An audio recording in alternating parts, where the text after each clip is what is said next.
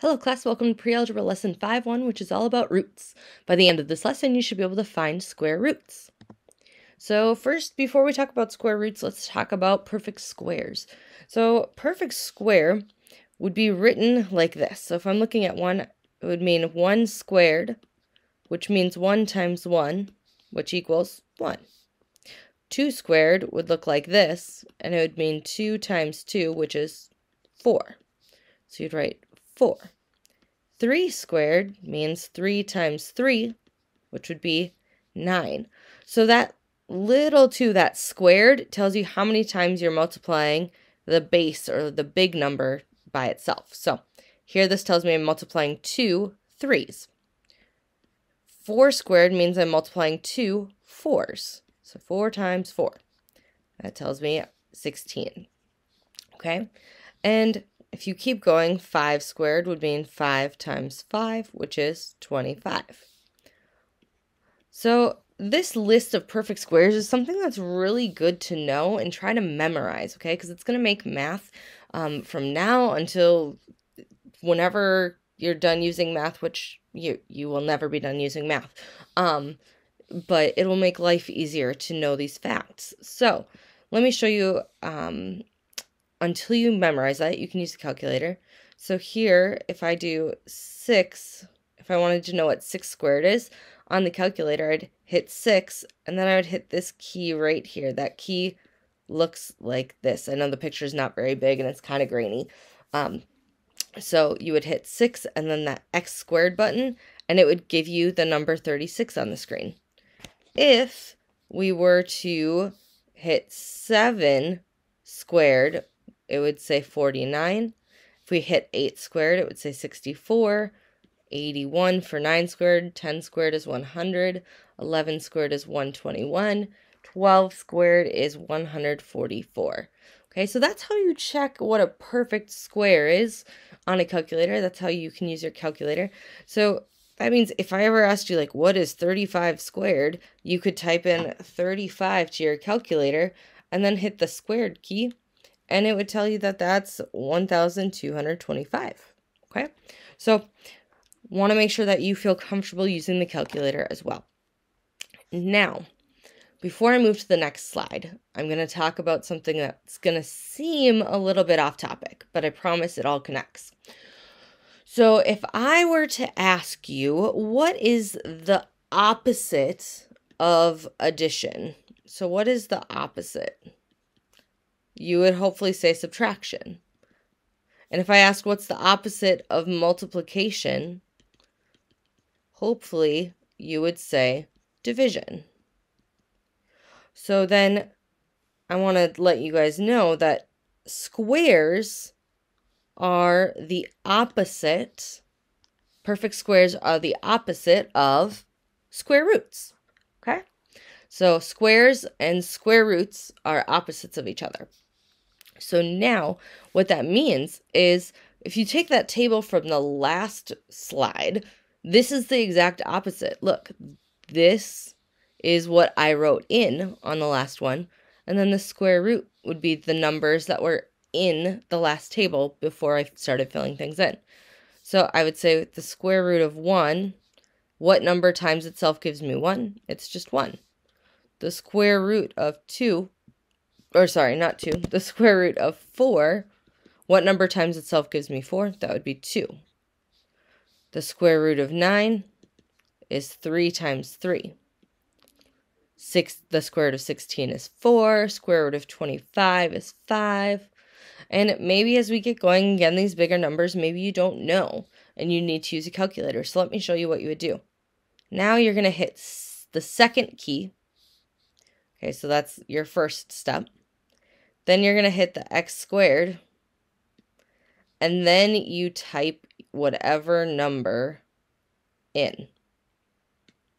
Okay, so first you hit the second key, then you hit the x squared, and then you type in your number.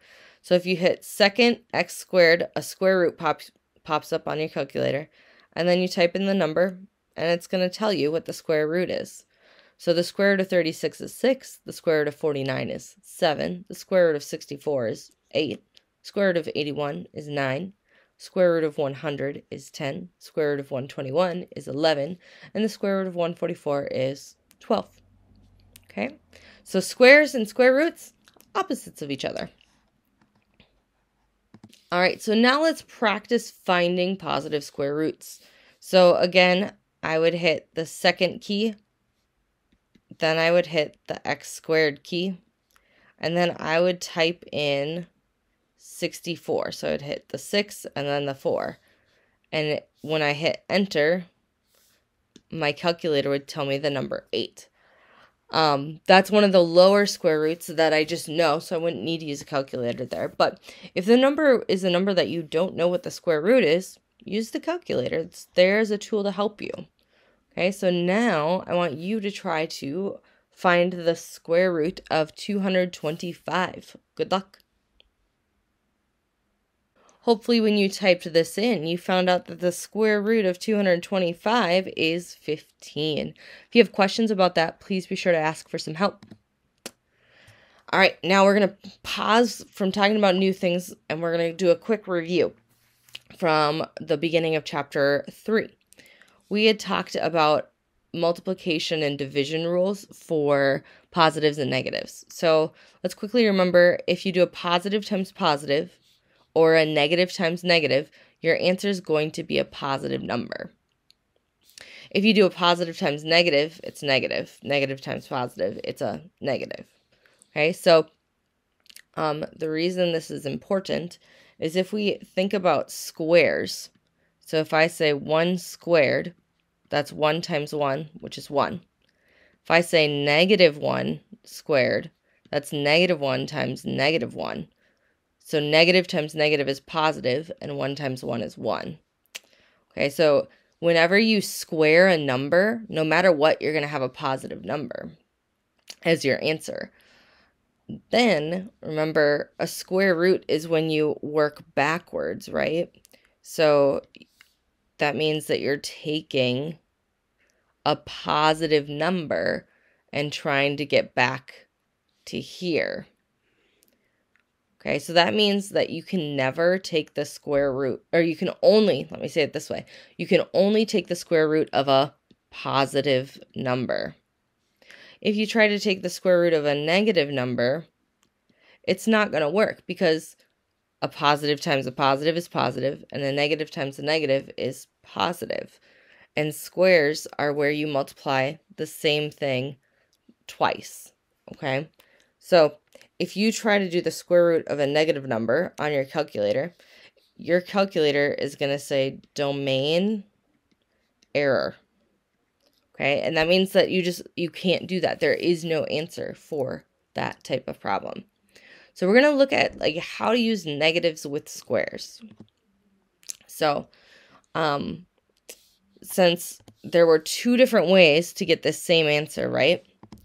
We use a special symbol when trying to solve. This is called a plus or minus.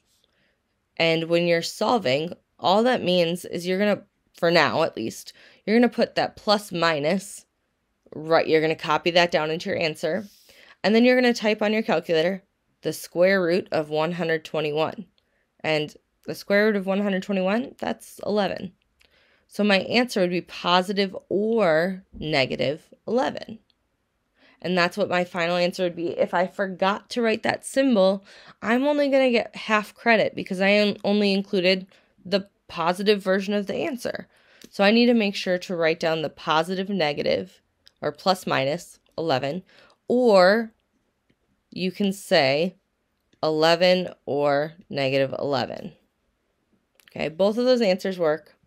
Um, usually students prefer to do the shorter way and write out the plus minus symbol with the 11. Okay, now I want you to practice this one on your own. What is, or simplify, plus or minus square root of 144. Good luck. All right, so on your answer on your paper, you should have written down plus minus and then 12.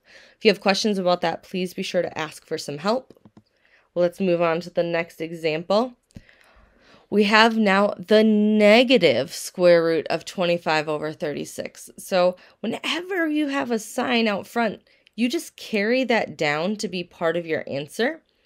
And then when we have the square root of a fraction, you can kind of split it up into two parts. You can say the square root of 25 over the square root of 36. And then I want to simplify a bit. So I carry that symbol, that negative. What's the square root of 25? It's 5. So I'm going to write 5 over the square root of 36 is 6. So my answer would be negative 5 over 6 because I can't reduce that fraction anymore. So that is going to be the final answer. In this case, I don't have the plus on top because I don't have the plus on top in the starting problem. So I just have that negative. All right, why don't you go ahead and solve this one on your own? Good luck. Hopefully with this problem, you ended up at a negative 7 eighths. Um, the square root of 49 is 7, square root of 8 is, or square root of 64 is 8. So that's how I got 7 over 8. And then there was that negative sign in front, so I carried that along with my answer. Okay, so now let's look at this one. I have the square root of negative 25. So if you remember back a couple of slides, I talked about how if there's a negative under here, you're going to get a domain error. So this is called no solution. Or I'm okay with you saying you can use this symbol. That means no solution. So it looks like a zero with a slash through it. Okay, so you can either write out the words no solution or you can use that little symbol, the circle, the zero with a line through it. Okay, now let's look at this written in a slightly different way. If I asked you what is 9 squared, you would write 81. If I ask you what's the square root of 81, you would say 9. So let's say that this looks a little different. Let's pretend that instead of having a 9 here, I said x squared equals 81. How would I know to find what that number is? I would undo that square. So I would say x equals um, the square root. Sorry, that was bad writing. Let me try that again. x equals the square root of 81. And that's how I would get x equals 9. Then over here, this one is, um, this one might look like this. The square root of what number equals 9? The way that you would undo that is you'd say x equals 9 squared or x equals 81. Okay, so I recommend, especially if you haven't been taking notes, because I know some of you really fight me on this, even though you need to be taking notes. Um, if you're not going to write down anything from this video, write down this slide. Write down these two examples so you can look back at them to use them to solve. Okay? Um, so if you're not going to write down anything else from this video, at least write down this slide. All right. So now let's practice solving this problem. So I have m squared equals 169. So I'm going to do what I talked about. What's the opposite of a square? It's taking the square root. So m equals the square root of 169, which is 13. So that would be my answer. m equals 13. And sometimes when you're doing these problems, it expects you to do plus or minus anytime that you um, have an equation and you redo it, it's going to expect you to do the plus minus in front of it. So you'd say m equals plus minus 13, positive or negative 13. Okay? I want you to try solving this one on your own. Good luck. Okay, for this problem, hopefully you ended up at a positive or negative 16 as a final answer. If not, be sure to reach out for some help. I'm happy to help you. I hope you guys have a great day.